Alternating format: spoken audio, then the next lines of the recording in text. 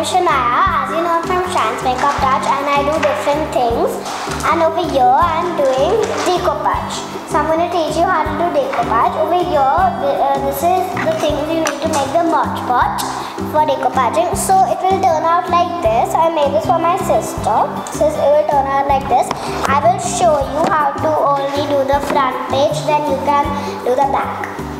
Then you can do the back if you want and the sides. I'm going to just show you the front.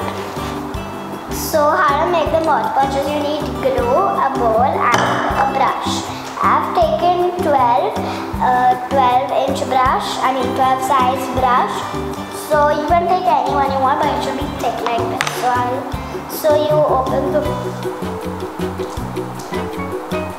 glue, just check if it's dry or not yeah it's not dry so then you pour equal quantity as glue and water together. Now I'm gonna mix some more. Just mix until it's good. Then you have to just paint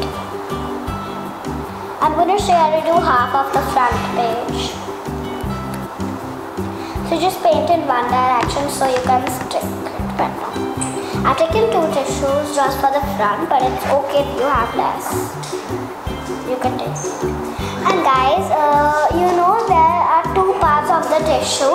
There's one white part and there's one upper part. So you have to peel the upper part. Here I've peeled the upper part so it can stick better. It's like, yeah, so you need someone's help to just stick, uh, to, I mean to just peel out the tissue. I've already peeled it out, but you need some elder's help to take it out, okay?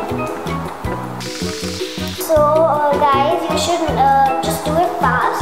So, um, you know, you should do it fast because if you don't do it fast, then it will It will turn out bad and dry.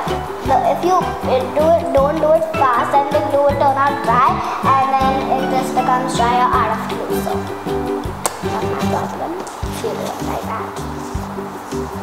Just learn it. So I'm gonna tear a bit of the tissue like that and place it on the just be careful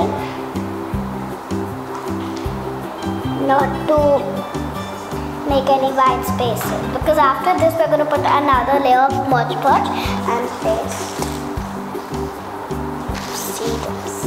So guys so now it's made. Now we have to do another layer of just glue not the paper.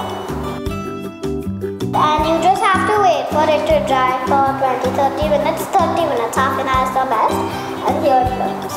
This is how it turned out. So yeah thank you guys bye. Hope you like my video subscribe and put a comment